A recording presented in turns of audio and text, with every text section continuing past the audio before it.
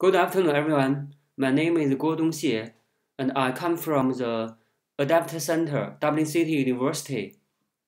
Today, I will introduce my paper, Constraining the Transformer NMT Model with Heuristic Grid Beam Search. First, let me introduce, uh, give the background of our work. In our work, we say there are two kinds of decoding pattern in machine translation. First one is normal decoding. Most machine translation model accept uh, plain sentences and get the translation result. For example, when I provide an English sentence to the machine translation model and it for the English German machine translation model, it produces uh, German sentences directly.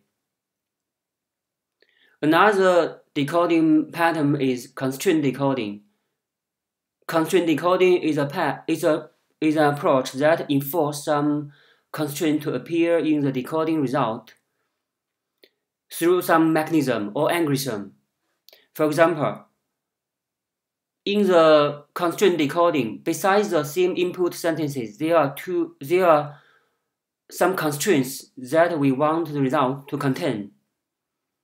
After the decoding, the constraints will should appear in the result. For example, uh, here is uh, still the input English sentences, and uh, besides the input sentences, there is two constraints. And after the constraint decoding, these two constraints will appear at the last result. Constraints are normally some target words or phrases or some term terminologies which are acquired in advance through domain knowledge or other methods. Constraint decoding ensures constraints partially or fully appear in the translation results.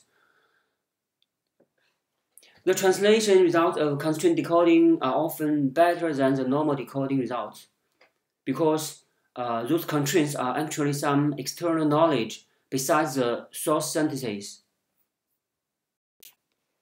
Now I will introduce related works. There are different constraint decoding methods in recent years. The most related with our work is uh, grid beam search, which is proposed by Hokamp in 2017. This diagram illustrates the principle of grid beam search. The bottom rows is a normal beam search process. We can see that the beam units grows horizontally. For grid beam search, let's suppose there is a source synthesis and two constraints. The grid beam search assumes that all constraints should appear may appear at each decoding step and extends a beam vertically into grid beam. So there are several beam units at each step rather than a single beam unit. The height of grid is equal to the tokens of the token numbers of the constraints. This result a very slow decoding speed because the number of hypotheses increase very quickly according to the number of constraints and the decoding step. Now I will introduce the problems and uh, this paper's idea. Other constraint decoding methods include uh, Senechis in 2016 and uh, Anderson's in 2017. Their common problems are that, first, when decoding, only the constraints or information is considered to guide the placement of constraints, and no other information is used. The decoding speeds are slow or, or if they have some acceleration, the quality of the result often become bad. Second, all those methods are based on the RN model, RN model. So whether term constraints are necessary and whether those constraining algorithms are effective on the transform model are still need to be verified. So this paper's idea is that first, transformer model is very powerful. Is grid beam search still necessary or effective when applied on transformer model. Second, constraints can include not only the target side words or phrases, but also can include source side information. So can we get guides or inspiration from source side in this constraint decoding process so we can speed or improve the decoding result?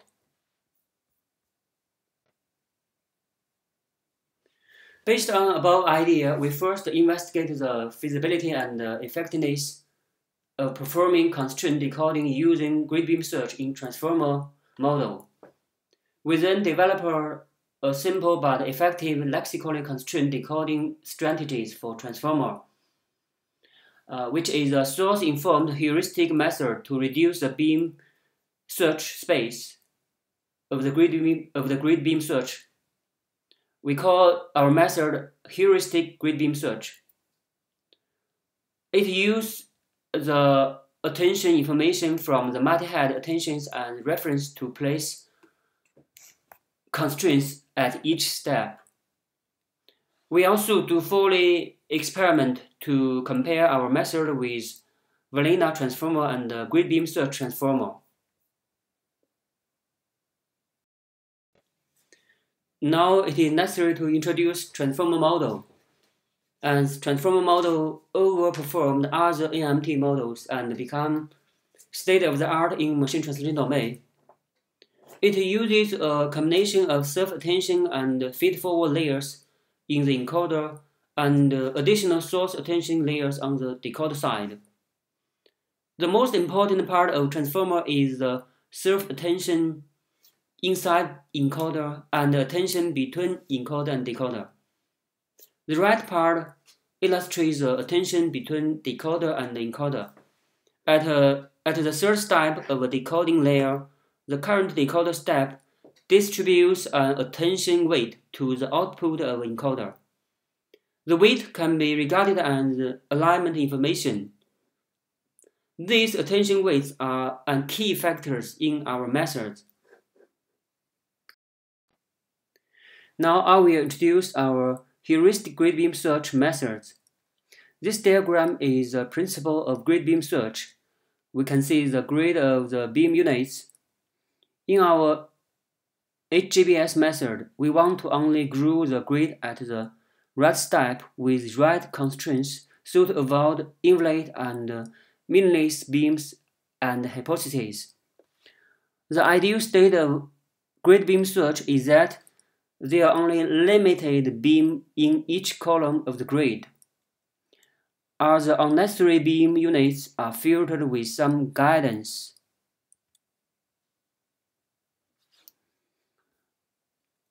So this is the ideal state of our grid beam search. We still use the example of the sentences. We want the first constraints only start from the first step and the second constraints start from the fifth step. Continue our methods.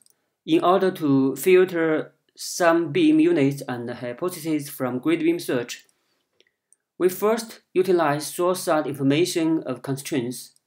In our work, the constraints are extracted using pointwise mutual information between source and target.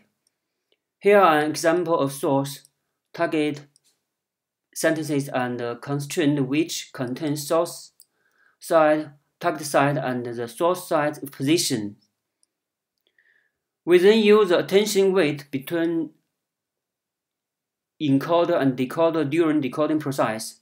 For example, the grid does not grow vertically until when the decoding step reached the six target words and the attention weight distributed on the second word are large enough.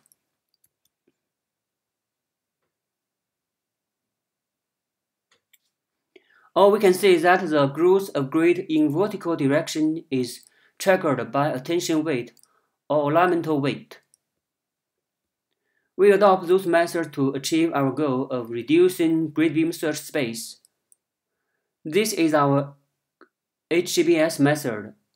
In our method, we must set a threshold for the attention weights to trigger the starting of a constraint or growth of grid. Our algorithm includes six steps. Our paper gives details of the algorithm. Now I will introduce the experiment. We focus our experiments on the domain adaptation task for constraint decoding through terminology. We use English, German, and Chinese English translation tasks to perform the comparison experiments. Our English-German model are use, use WMT data, and our Chinese-English model use LDC data. Most sentences in this corpus come from the news domain. In another side, we, we adopt Autodesk post-editing corpus of software localization as target domain data. We first train two translation models and then adapt the models to translate to translate Autodesk post-editing post, post-editing corpus. The Autodesk post-editing corpus is quite different from the WMT data and the LDC data. The corpus is divided into 10,000 training sentences and uh, 1,000 test sentences. All experiments explore the base transformer model configuration. And uh, uh, the maximum number of constraints is set to 6 and uh, the attention threshold is set to 0.1. Here comes the results.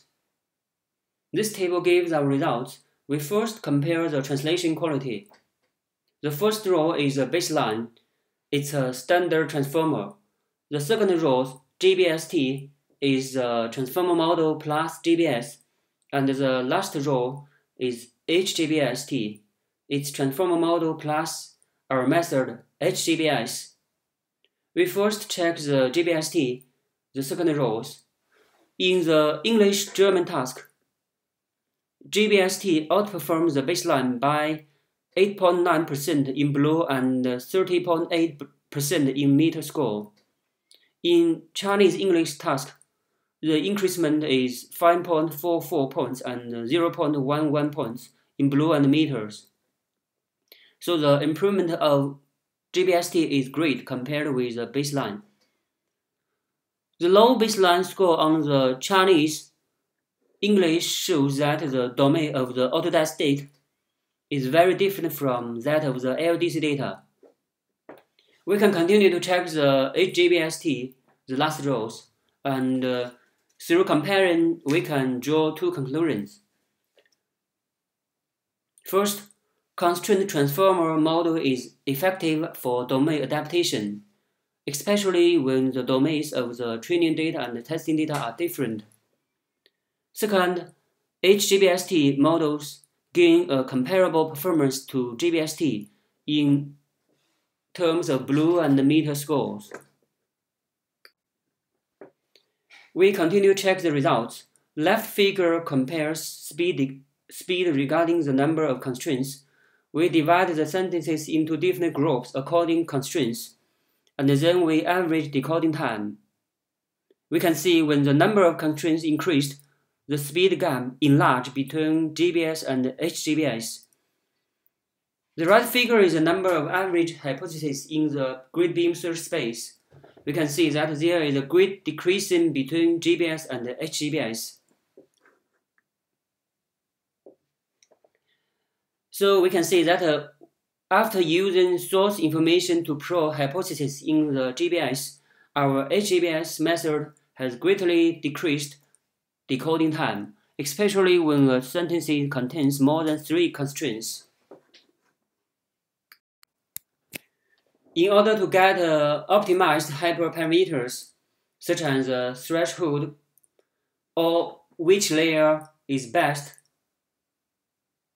we made analysis based on series experiments. We first analyze the effect of attention on the different thresholds Through set the threshold from small value to large value, we get a series result. The third rule in the table gives the results corresponding to the threshold in fourth rules. We can see that with the increase of the threshold, translation quality decreased constantly. And when the threshold set to 0.6, HGBST drops to almost the same as the baseline. Based on the above observations, we set the threshold to 0.1 in our HGBS method.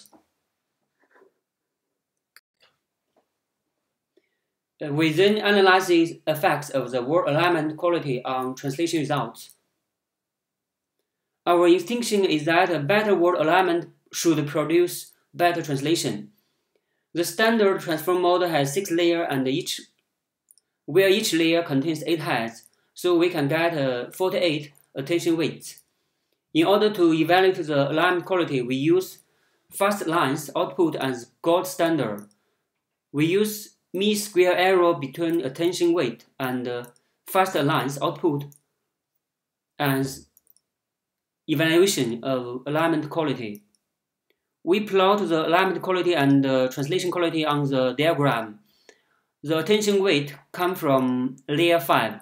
Each curve contains 8 points corresponding to 8 heads.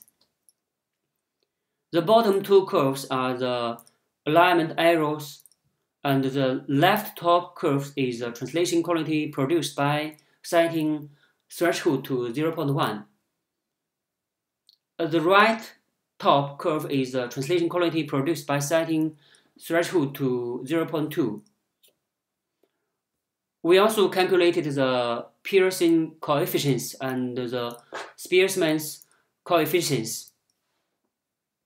From those coefficients, we can say that there is a high negative linear and uh, monotic correlations.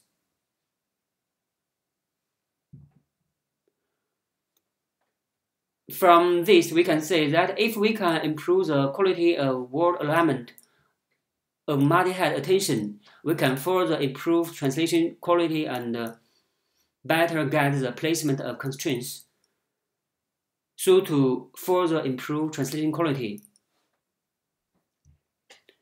In the next step, we refine the transformer model to verify our assumption. Here we explain how we refine the model. We first average all attention and define the alignment error as before. We then define a new loss function. Here HD is the normal decoder cost of the transformer model and omega is the weight for alignment error. We first train a transformer model as normal, then we retrain the model with the new loss function. The new results is shown in the table. Comparing with the refined baseline, the GBS obtains 3.31 increment and HGBS almost achieves the same performance as GBS. This shows that refined model can improve our HGBS methods. Okay, now comes to the conclusions and uh, future work. In our paper, we re-implemented and uh, investigated GBS method based on the transformer model. We proposed a heuristic GBS, a source-informed heuristic method guided by the multi-head attention mechanism. Our HGBS method outperforms the transformer model in terms of BLEU and METEOR score it pros hypothesis and speed decoding time. It is more it is more practical for low resource domain adaptation translation tasks. In the future, we will further optimize the proposed HGBS method in terms of translation quality, decoding time, and X0.